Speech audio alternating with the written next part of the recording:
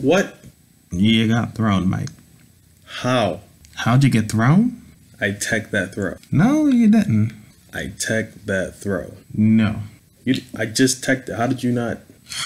Just a rematch already. Whatever, man. I teched it. Nah.